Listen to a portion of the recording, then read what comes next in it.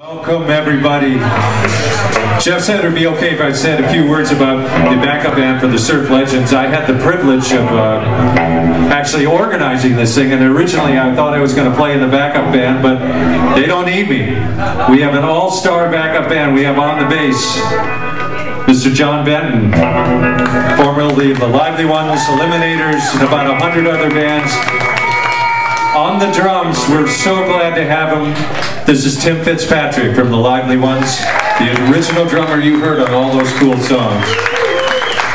Also, Tim's in the Dynatones current band. Currently in the Dynatones. Yeah. You met Jim Frias on the saxophone. Next to him is the one, the only, Armon Frank. He was the saxophone on the Surfmen's greatest hit, Paradise Cove. They're going to be doing it a little bit later. It's the coolest song you've ever heard. And last but not least, our band leader, John Blair, the man originally in charge of the Surf Revival. We're so glad to have him.